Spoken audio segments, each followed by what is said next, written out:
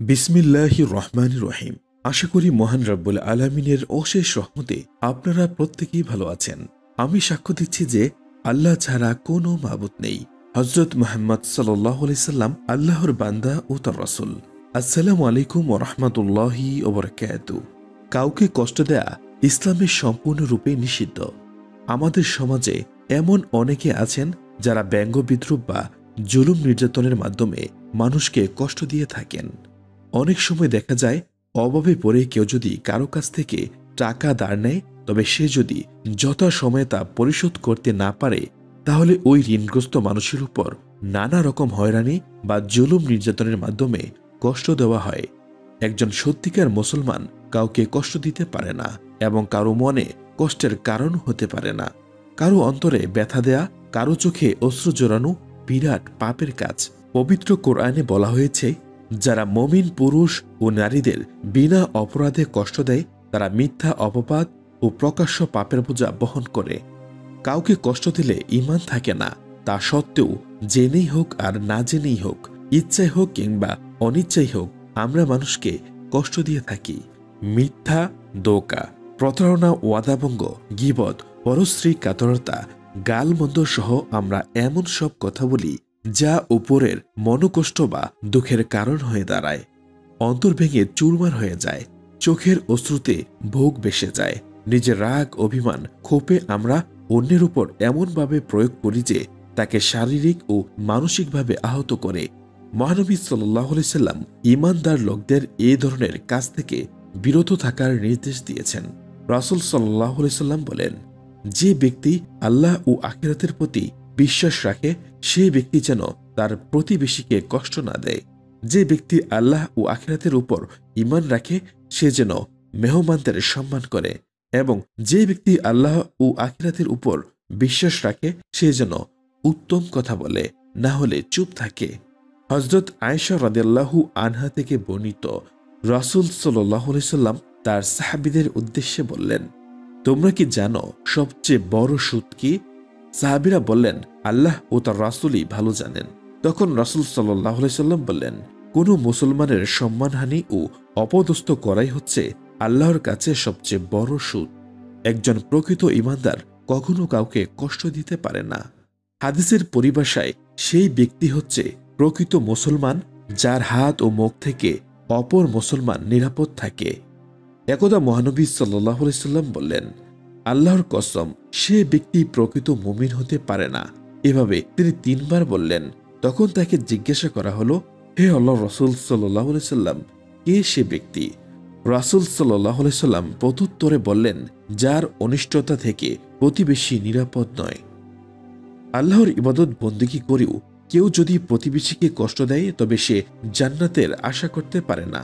হাদিসে এসেছে, এক ব্যক্তি বললেন, হে আল্লাহ রসুল সাল্লাহ সাল্লাম, অমুক মহিলা বেশি বেশি নামাজ, রোজা এবং দান সদকা করে, কিন্তু সে তার প্রতিবেশীকে তিরস্কার করে এবং কষ্ট দেয়। রাসুল সাল্লাম বললেন, এমন মহিলা জাহান নামে যাবে। লোকটা আবার বললেন, অমুক মহিলা নামাজ, রোজা এবং দান সদকা কম করে, তবে সে তার প্রতিবেশীকে গালিগালাজ করে না এবং কষ্ট দেয় না।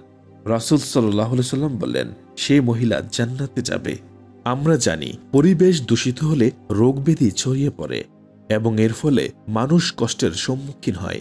তাই পরিবেশের জন্য ক্ষতিকর এমন কাজ ইসলামে কঠোরভাবে নিষিদ্ধ করা হয়েছে। মহানবী সাল্লাহ সাল্লাম বলেছেন, তোমরা দুটি অভিশপ্ত কাজ থেকে বিরত থাকো। সাহাবিরা জিজ্ঞেস করলেন, সে দুটি কাজ কি? রাসুল সাল্লাহ সাল্লাম বললেন, জনগণের চলাচলের রাস্তায় কিংবা ছায়ায় প্রস্রাব পায়খানা করা। মোট কথা মানুষের কষ্ট হয় এমন কাজ থেকে দূরে থাকার জন্য ইসলাম নির্দেশ দিয়েছে।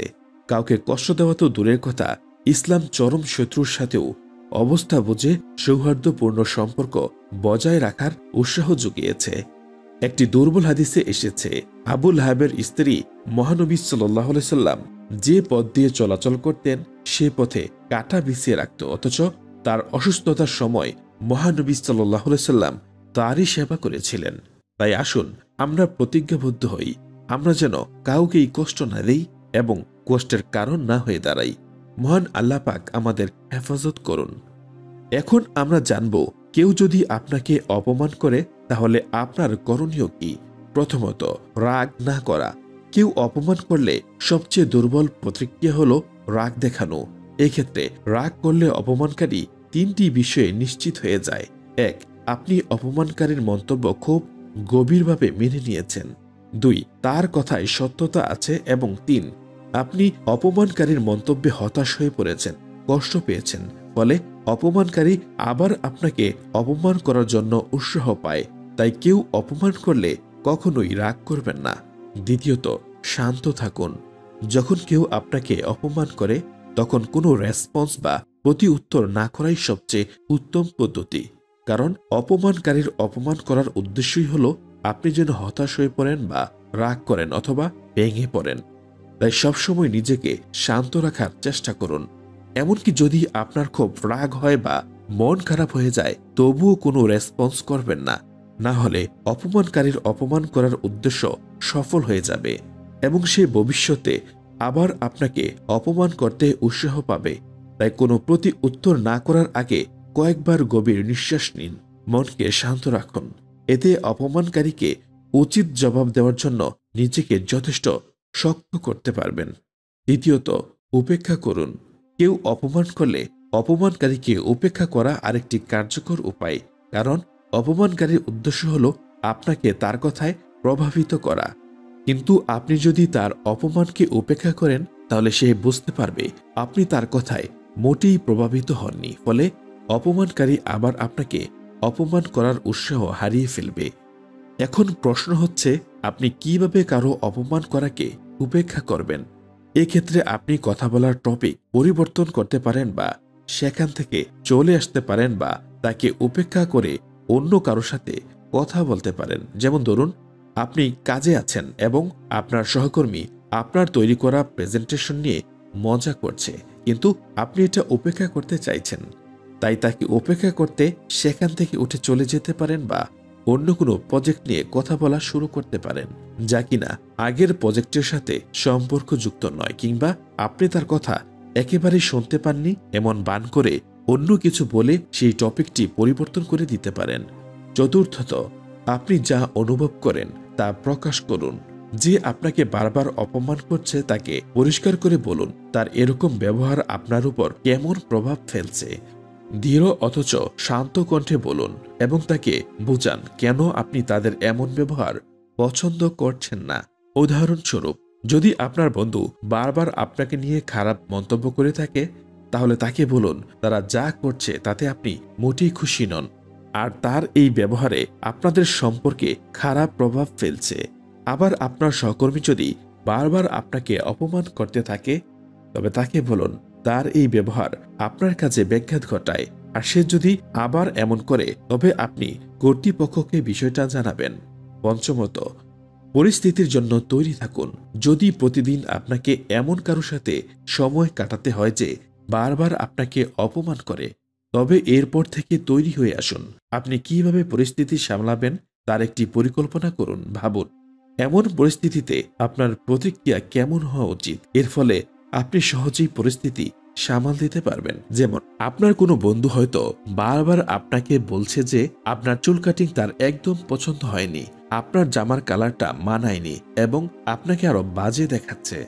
তখন আপনি তার কথা হেসে হেসে সম্মতি জানিয়ে বলতে পারেন যে হ্যাঁ ভাই, তুমি ঠিকই বলেছ। কিন্তু এই সাধারণ কাটিংটাই আমার পছন্দ বা এই রং, এই জামা কাপড়ই আমার পছন্দ। এবং আমার যেটা পছন্দ আমি সেটাই করি। এই বিষয়ে তুমি চাইলে আরও মন্তব্য করতে পারো, কিন্তু আমি আমার সাধারণভাবেই চুল কাটব। কারণ চুলের কাটিং কেমন হবে বা কোন রঙের জামা পরব, এই নিয়ে আসলে বাবার মতো বেশি সময় আমার হাতে থাকে না, আর অন্যের বিষয় তো নয়। দেখবেন, এই কথাগুলো শোনার পর তার মধ্যে যদি ন্যূনতম জ্ঞান, আকল থাকে, তাহলে শুধু আপনাকেই নয়, কাউকেই অপমান করার সাহস করবে না। তবে কথাগুলো অবশ্যই হেসে হেসে বলতে হবে আপনাকে। ছয় হাস্য কৌতুক রস থেকে প্রতিক্রিয়া দিন। হাস্যরসের মাধ্যমে কারও অপমানের জবাব দেওয়া সম্ভবত সবচেয়ে কার্যকর পদ্ধতি। তাই যখন কেউ আপনাকে নিয়ে মজা করে, আপনিও তার সাথে মজা করার চেষ্টা করুন। আর এর মানে হলো, তার অপমান তার দিকে ঝুড়ে দেওয়া। কিন্তু অবশ্যই আপনাকে খুব নরম ও শান্তভাবে বলতে হবে, যেন তাদের খারাপ না লাগে। এটি একটি বাড়ি পরিস্থিতিকে সহজ করে তুলতে পারে। তাই কেউ আপনাকে অপমান করলে আপনিও সেটা নিয়ে মজা করার চেষ্টা করুন। যেমন কেউ আপনাকে বলল, তোমার হাতের লেখা তো বাচ্চাদের থেকেও জঘন্য। আপনিও হেসে হেসে বলবেন, জি, ঠিকই বলেছেন। আমি বড় হয়ে গেলেও হাতের লেখাটা ছোটই রয়ে গেল। এরকম বলে মুচকি হেসে দিবেন। প্রিয় দর্শক, এখন নিশ্চয়ই কিছুটা হলেও বুঝতে সক্ষম হয়েছেন যে কেউ অপমান করলে আপনার কি করা উচিত এবং কি করা উচিত নয়। তাহলে এমন পরিস্থিতিতে আপনি কোন পদ্ধতিটি অবলম্বন করবেন? আপনার অভিজ্ঞতাটিও আমাদের সাথে শেয়ার করতে ভুলবেন না যেন। তবে একজন মমির মুসলমান হিসেবে আমাদেরকে অন্য মানুষকে কষ্ট দেওয়া থেকে বিরত থাকতে হবে এবং কাউকে অপমান করা থেকেও বিরত থাকতে হবে, কারণ আল্লাহর রসুল সাল্লাহ সাল্লাম বলেছেন, সেই ব্যক্তি হচ্ছে প্রকৃত মুসলমান যার হাত ও মুখ থেকে অপর মুসলমান নিরাপদ থাকে। আল্লাহ আমাদের সবাইকে বোঝার তৌফিক দান করুক। আমিন। আল্লাহ তালা আমাদের উক্ত বিষয়গুলো বোঝার তৌফিক দান করুন। আমিন। প্রিয় দর্শক, যারা এই প্রথম আমাদের ভিডিও দেখছেন, অনুগ্রহ করে আমাদের চ্যানেলটি সাবস্ক্রাইব করে রাখুন এবং আমাদের ফেসবুক পেজটিকে ফলো করে রাখবেন। আল্লাহ তালা আমাদের সকলকেই যেন এই হারামগুলো থেকে হেফাজত করেন। আমিন। এই কামনায় আজকের ভিডিওটি এখানেই সমাপ্তি। আসসালামু আলাইকুম রহমতুল্লাহি ওবরাকাত